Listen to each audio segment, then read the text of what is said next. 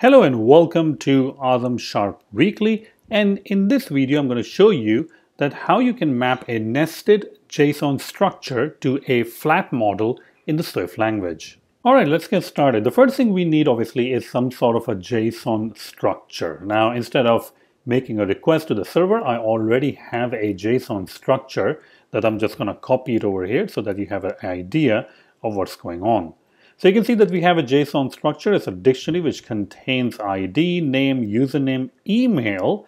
But this is where it gets a little bit complicated because address itself is another dictionary. So this is the nested JSON structure that we have.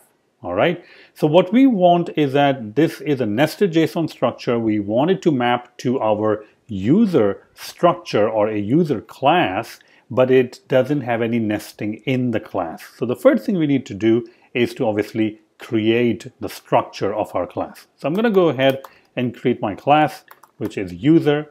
I'm going to call this or have it decodable.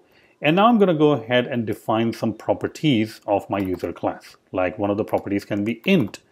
The other can be name. And then we have username and then we have email. You can see that I am mapping these properties. One of the things you will note is that username over here is all lowercase, but over here the one that I'm using in my user structure, this is camel casing. Now I also need to map my address.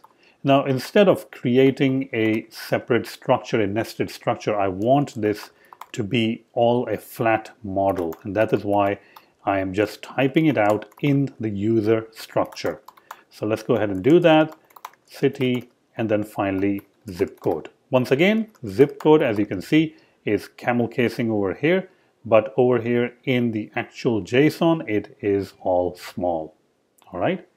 Okay, so uh, what do we do or how do we go from here to mapping all of this JSON into this user flat structure or a flat model. So the first thing I need to do is I need to create some coding keys and specify that which property in my model is mapping to which JSON property or the attribute. So I'm going to go ahead and create a private enum. I'm going to call this user keys, which will be of type string and coding key. Now inside this, I have to add all the different attributes or properties that I want to map. And you can see that ID and name doesn't really map to anything, but I still have to specify. Username is the only one in the user keys that is changed. I'm mapping to username, which is the camel case, to the username, which is all lowercase, which is coming from JSON. I'm going to go ahead and add some other properties like email and address also. Now, I don't really have anything for address, so instead of uh, mapping it or creating a nested structure, which I don't want to do, I'm going to go ahead and first map my enum for address keys also. So address keys, which is string and coding key.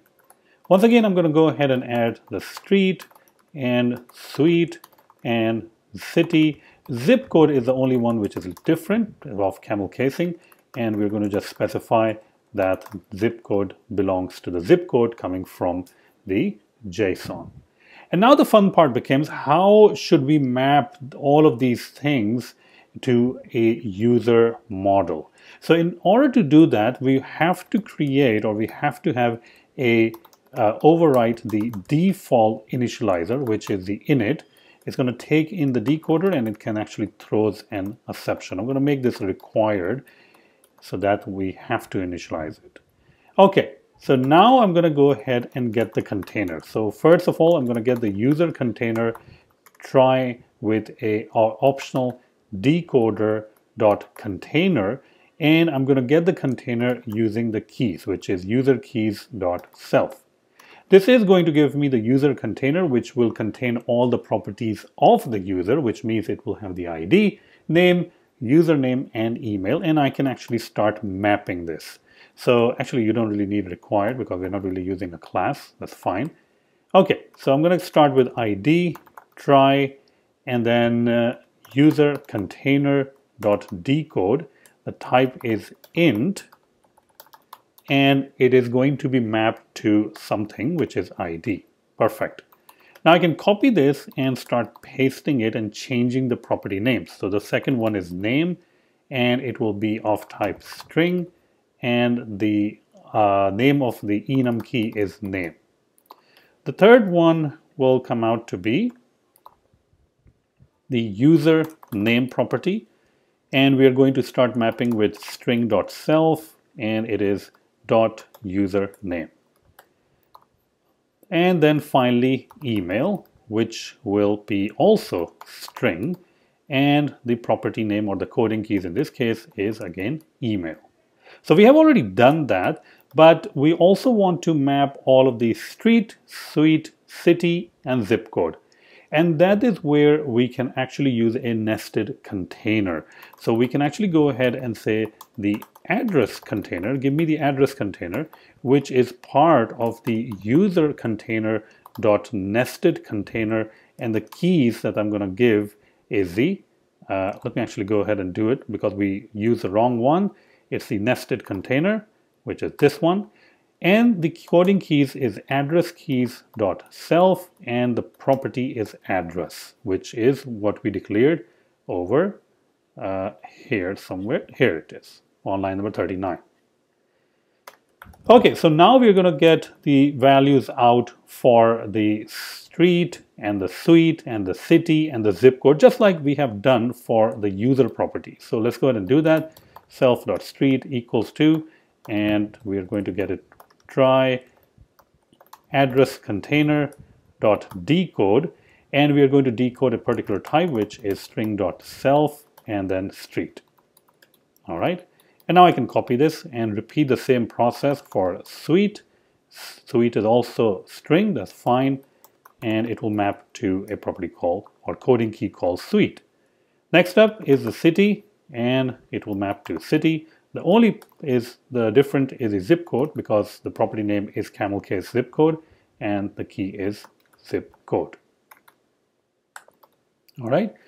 And uh, that's actually pretty much it. That's how you will map your um, properties.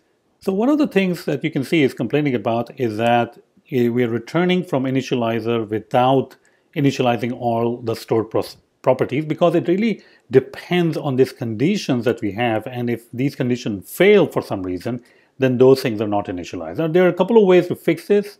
The easiest one would be to change them to var and give them some sort of a properties. So if I go ahead and change some of these to var and for integer or the ID, I can actually make them optional.